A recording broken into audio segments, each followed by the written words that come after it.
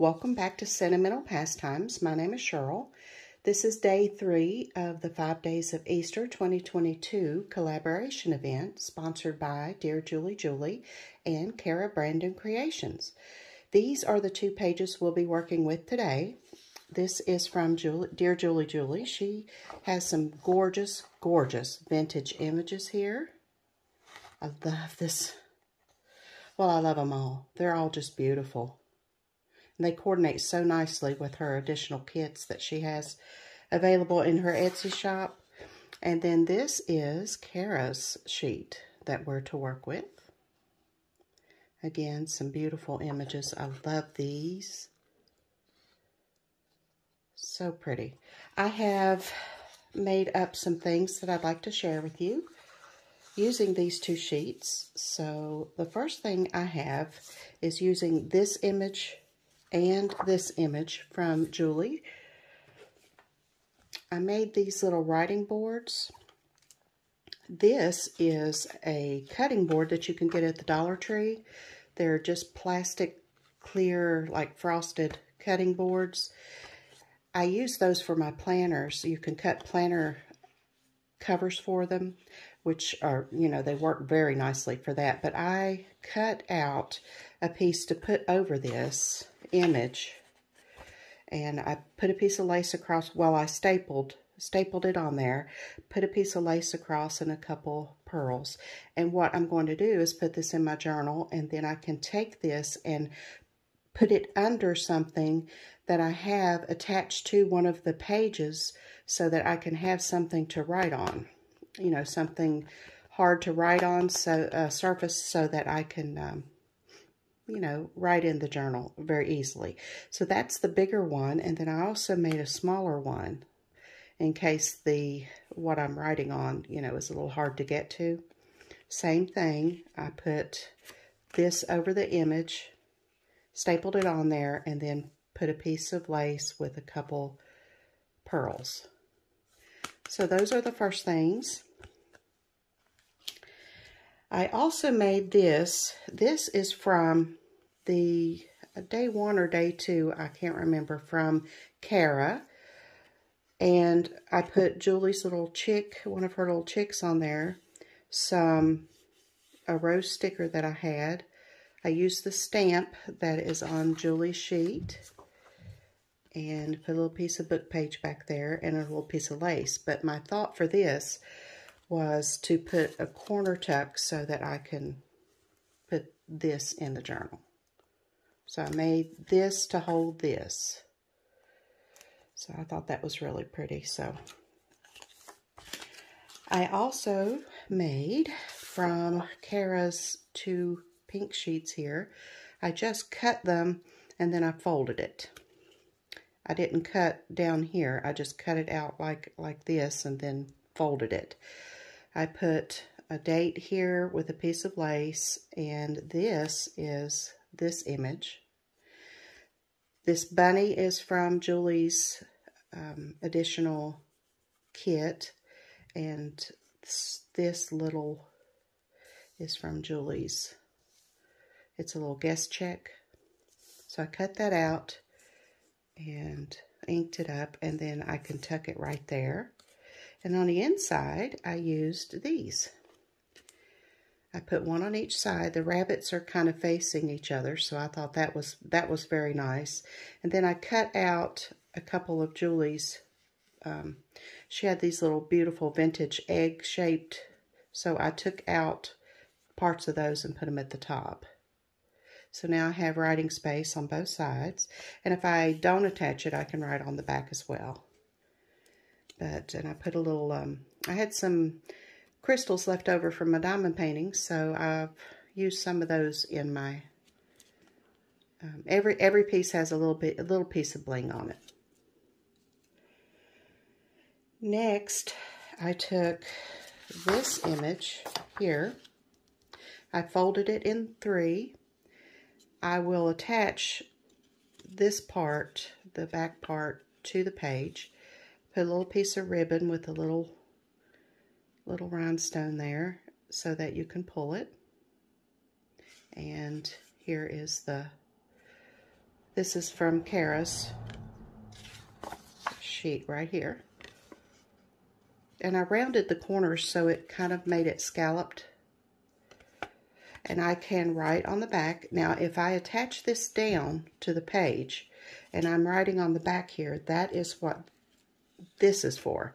I can put this under here and I can have something to write on instead of writing on top of this little, um, you know, the, the uneven page. I can put this on here and then write on it very easily. So that's just a little accordion pull thing. I love this little chick. that's, is that the same little chick that's on the, yeah, I think it is. See? the same little chick that's on this, this piece.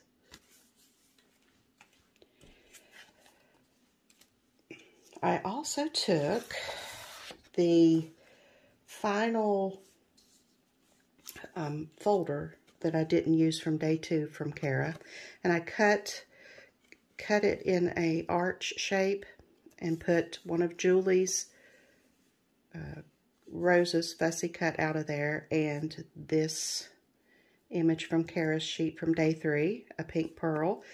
And it's a nice writing spot. And then I made this. This is from this and this. Little piece of bling to tuck it in. So I thought that was really pretty. And as a companion piece, I also made this. This was a file folder, so the other side of this where it folded, I took and I put this image on it. Little pink pearl, more of Julie's roses, one of another one of these, and that's that's a companion to that. I was thinking to put to put both of them in here, but I, I just don't, that's too much. So I'm just going to put this one in here. And then on another page, this is one of Julie's cutouts too. I fussy cut this little girl. So I'm planning on gluing her down on two sides to make a tuck. And I'm going to just insert that one in there and it looks like she's looking up at the chicks. So these two pieces will be sister pieces in the journal.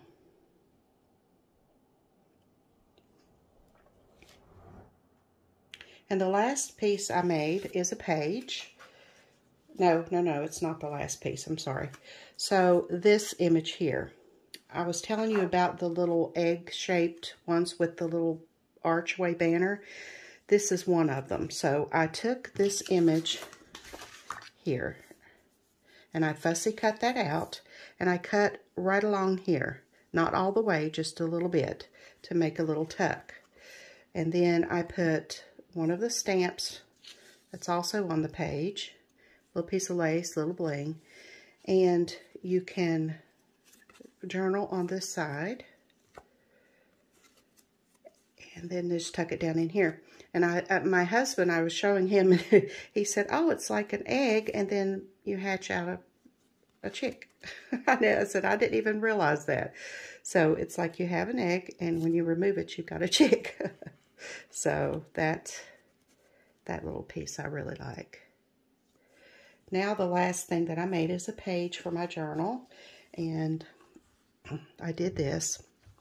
I took this belly band from day two from Julie. Put a little bling on the butterfly. I put the Hello Spring that is on um, one of Cara's pages. I thought it was on this one, but it's not. But it, she has a Hello Spring in a round. So I put that there. And then I put a little piece of Raffeta on there. So it's a little journaling spot. This is this image.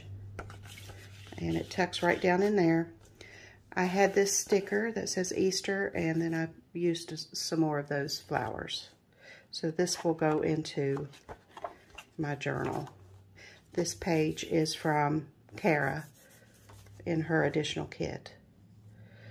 So from these two pages and a few other items, I have this page for my journal and this ephemera. I have this little piece.